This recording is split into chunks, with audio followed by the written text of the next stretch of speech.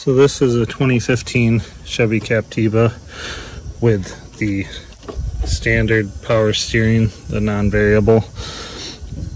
So to remove the alternator, you have to take out the airbox, which is a clamp here, and there's a clamp here, and that just basically pulls off the top, pulls off those.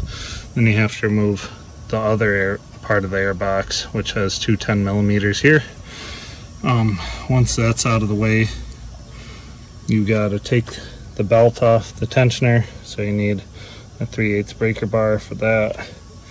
Then you'll have to take off the power steering box and you'll want a 13 millimeter and an extension and you can grab the bolt right through these holes. There's three of them. You're gonna wanna come in and take the alternator off. It has three bolts or two bolts and a stud. You're gonna have to take out all the two bolts. Those are also 13 millimeters. I recommend a ratcheting end wrench if you got it. But you're gonna need all sorts of different extension lengths and you can do it with a standard wrench, but it takes forever. And then to take the stud out,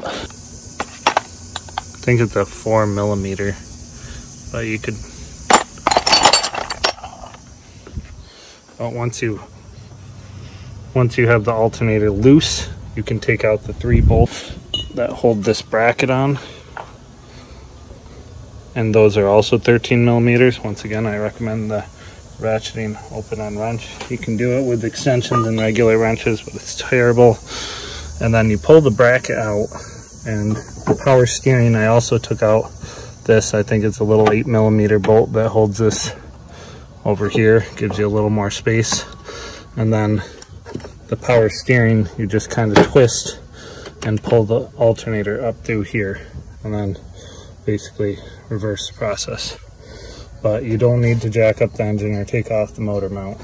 You just have to take off everything in here.